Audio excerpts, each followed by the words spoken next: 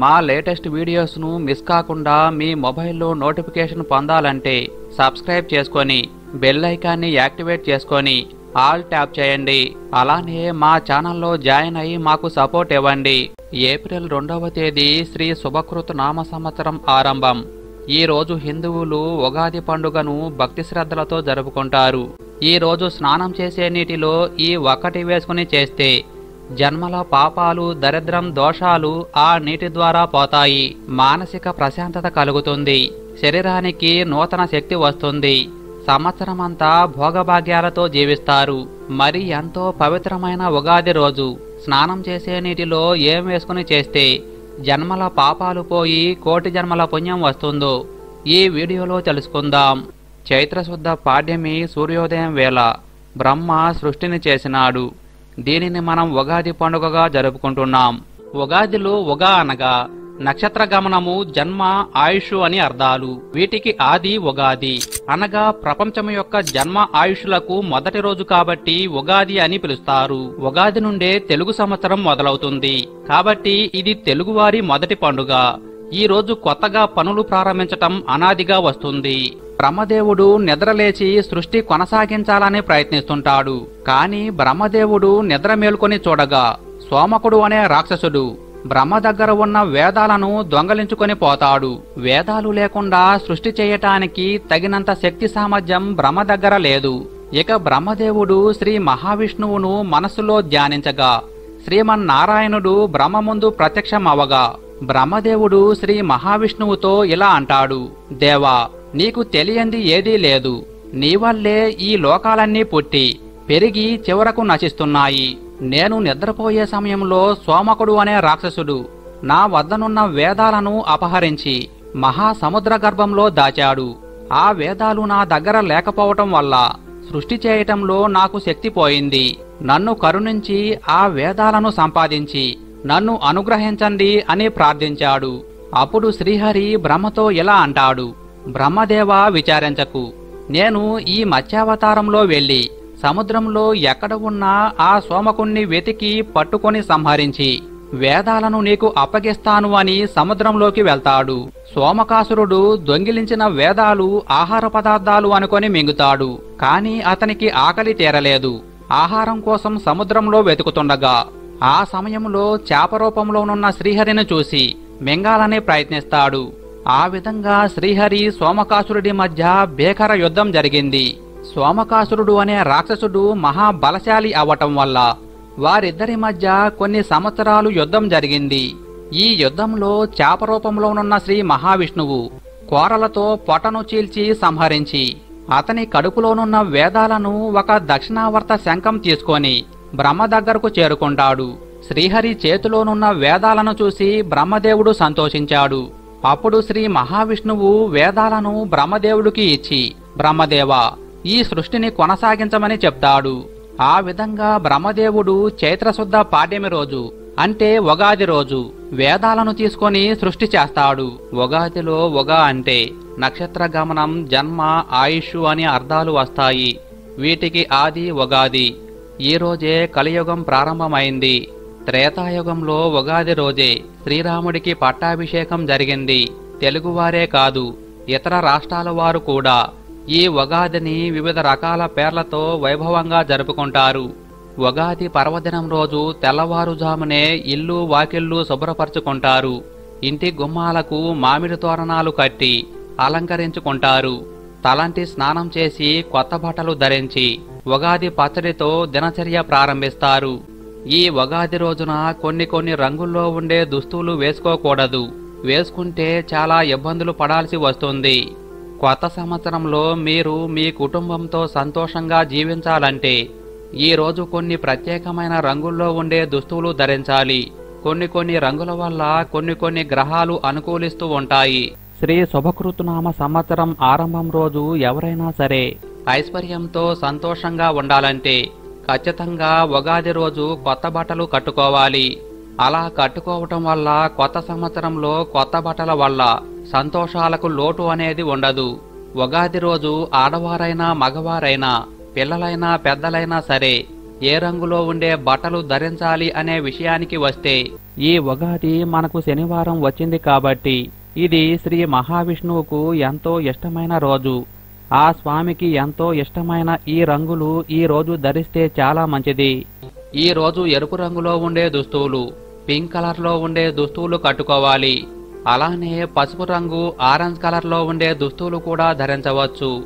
మొత్తం నాలుగు రంగులు అంటే ఎరుపు పింక్ ఎల్లో ఆరెంజ్ ఈ నాలుగు రంగుల్లో ఏ రంగులోనైనా ఉండే దుస్తువులు ధరించవచ్చు. లేదా కాంబినేషన్లో అయినా ధరించవచ్చు.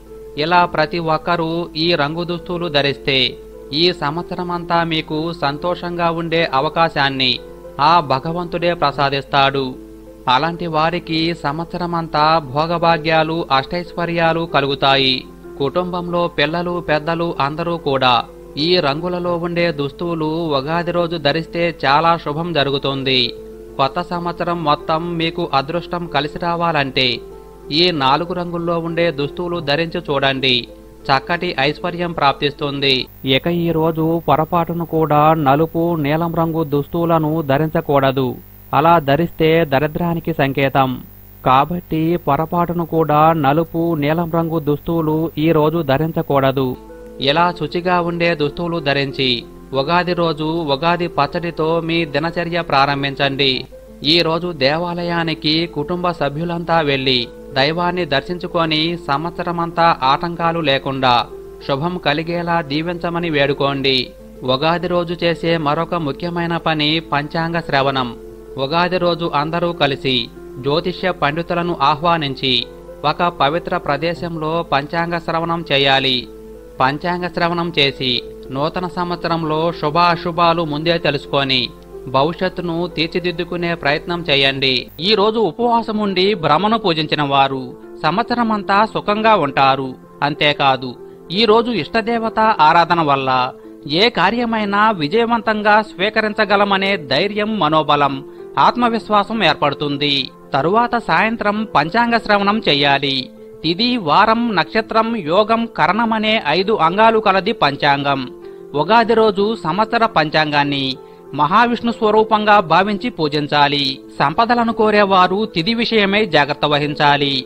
దీర్ఘాయువు కోరేవారు వారం విషయంలో పాప విముక్తి కోరేవారు నక్షత్ర విషయంలో రోగ విముక్తి కోరేవారు యోగం విషయంలో కార్యసిద్ధి కోరేవారు కరణం విషయంలో జాగ్రత్త వహించాలి. అంటే ఏ పని చేసినా ఈ పంచాంగాల శుద్ధి. మరియు గ్రహ నక్షత్రాదుల ప్రభావం తెలుసుకొని ప్రవర్తిస్తే జీవితం సుఖశాంతులతో వర్ధిల్లుతుంది. ఇందుకు పంచాంగ విజ్ఞానం చాలా అవసరం. అదేవిధంగా ఈరోజు రైతులు సాయంత్రం తమ పంట పొలాల్లో ఏరువాక సాగుతారు. అంటే పొలంలో పూజ చేస్తారు.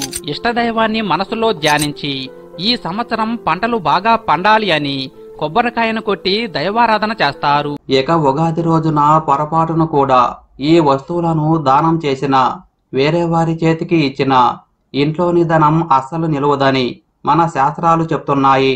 పొరపాటున ఉగాది రోజు ఈ వస్తువులను ఇంటికి వచ్చిన బంధువులకు కానీ లేదా వేరే వారికి కానీ ఇస్తే ఇంట్లోని లక్ష్మీదేవి వెళ్ళిపోతుంది. కొత్త సంవత్సరంలో ఇక మీరు కష్టాలు అనుభవించక తప్పదు. ఉగాది రోజు చాలామంది దానాలు కూడా చేస్తూ ఉంటారు. అలా దానాలు చేసేవారు పొరపాటున కూడా చీపురును దానంగా ఇవ్వకూడదు. ఇస్తే మన ఇంట్లో లక్ష్మీదేవి నిలవదు. డబ్బు ఊరికే ఖర్చవుతూ ఉంటుంది. అలాగే ఉగాది రోజు కొబ్బరి నూనెను ఎవరికీ దానంగా ఇవ్వకూడదు. ఇంటికి వచ్చిన బంధువులకు కూడా మీ చేతితో కొబ్బరి నూనె ఇవ్వకూడదు.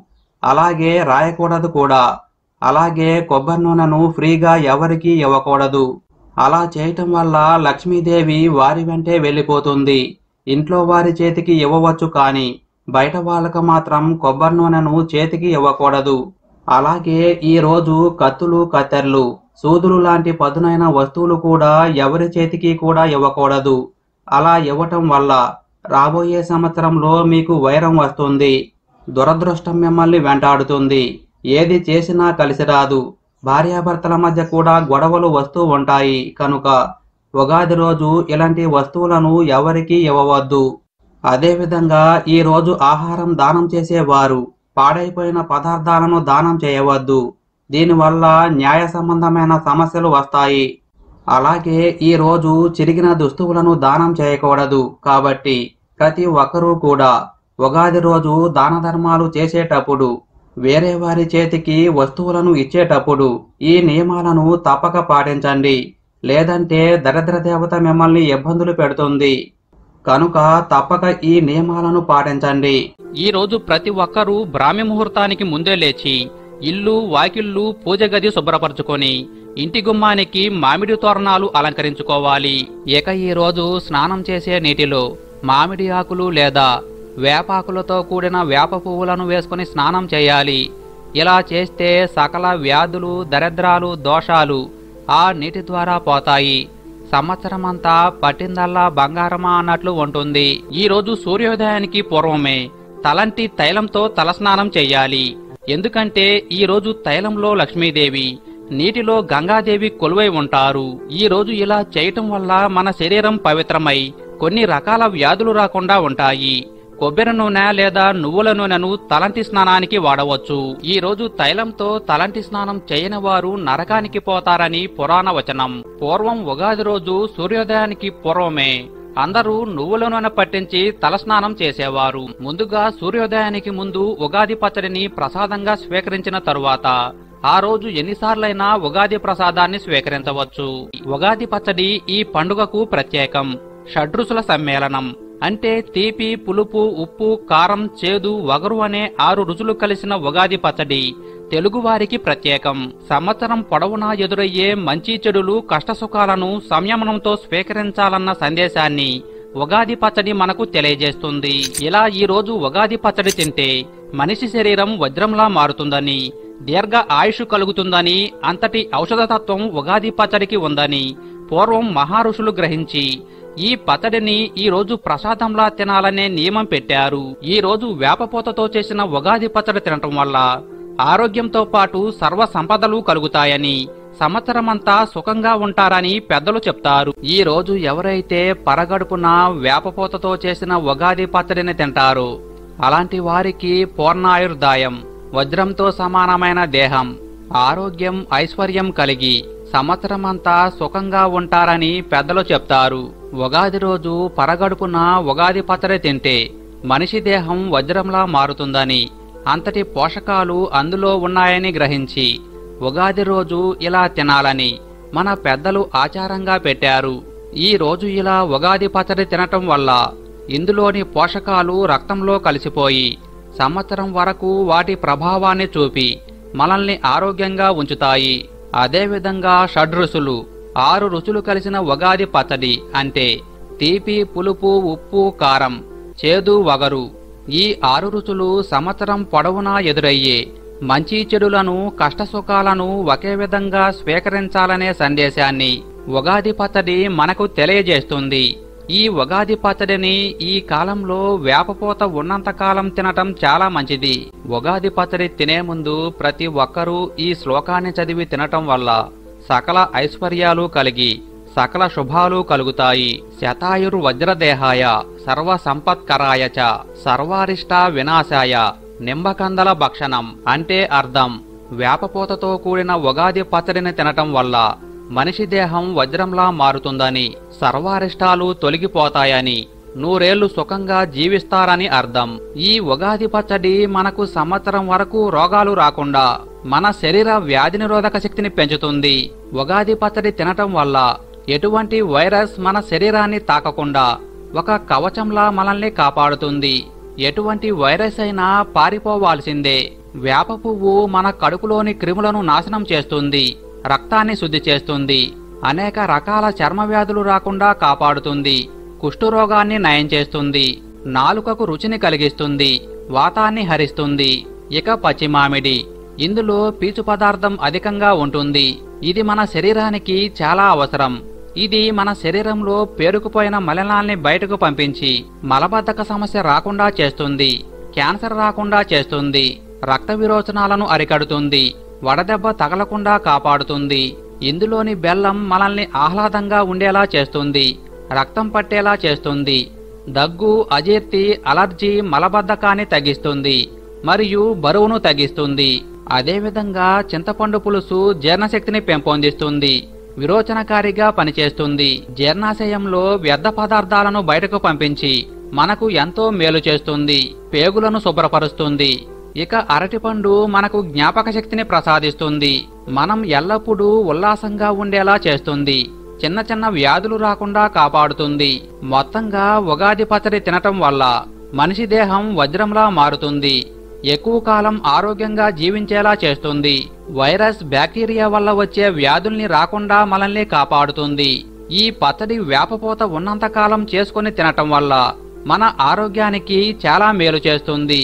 లేదా కనీసం శ్రీరామ నవమి వరకు అయినా తినటం మంచిది. ఇక ఈ సంవత్సరం. అంటే శ్రీ శుభకృతునామ ఉగాది పండుగ ఎప్పుడు? తిథి వివరణ తెలుసుకుందాం. చైత్ర శుక్ల పాడ్యమి ఈ సంవత్సరం. ఏప్రిల్ ఒకటో తేదీ ఉదయం. పదకొండు యాభై మూడు ఏఎంకి మొదలై. ఏప్రిల్ రెండవ తేదీ ఉదయం. పదకొండు యాభై ఎనిమిది ఏఎం వరకు ఉంటుంది. ఇక్కడ తిథి ప్రకారం చూసుకుంటే ఏప్రిల్ ఒకటో తేదీన అధికంగా పాడ్యమి తిథి ఉంది. ఏప్రిల్ రెండవ తేదీ కేవలం ఉదయం పదకొండు యాభై ఎనిమిది నిమిషాల వరకు మాత్రమే పాడ్యమి తేదీ ఉంది. అందువల్ల చాలామంది ఏప్రిల్ ఒకటో తేదీ ఉగాది అని అనుకుంటున్నారు. కానీ మన శాస్త్రాల వివరణ ప్రకారం బ్రహ్మదేవుడు చైత్రశుద్ధ పాడ్యమి సూర్యోదయం వేళ ఈ సృష్టిని సమగ్రంగా చేసినాడు. ఆ విధంగా సూర్యోదయం సమయంలో పాడ్యమి తిథి ఉన్న రోజు ఉగాది పండుగగా జరుపుకోవాలి. అంటే ఏప్రిల్ ఒకటో తేదీ పాడ్యమి తేదీ పదకొండు యాభై మూడు ఏఎంకి ప్రారంభమై అధిక సమయం ఉన్నా కూడా సూర్యోదయం సమయంలో పాడ్యమి తిది లేదు. కానీ ఏప్రిల్ రెండవ తేదీ మాత్రం ఉదయం పదకొండు యాభై ఎనిమిది ఏఎం వరకు పాడ్యమి తేదీ ఉంది. అందున సూర్యోదయం సమయంలో అంటే ఈరోజు సూర్యోదయం ఉదయం ఆరు గంటల రెండు నిమిషాలకు అవుతుంది. ఈ ఆరు గంటల రెండు నిమిషాల సమయంలో పాడ్యమి తిథి కూడా ఉంది. అందువల్లే సూర్యోదయం సమయంలో పాడ్యమి తిథి ఉన్న ఏప్రిల్ రెండవ తేదీనే ఉగాదిగా జరుపుకోవాలి. పాడ్యమి తిథి ఏప్రిల్ ఒకటో తేదీ ప్రారంభమైన ఏప్రిల్ రెండవ తేదీ మాత్రమే ఉగాదిగా జరుపుకోవాలి. ఈ చైత్రశుద్ధ పాడ్యమి రోజు ఉపవాసం ఉండి బ్రహ్మను పూజించిన వారు సంవత్సరమంతా సుఖంగా ఉంటారు.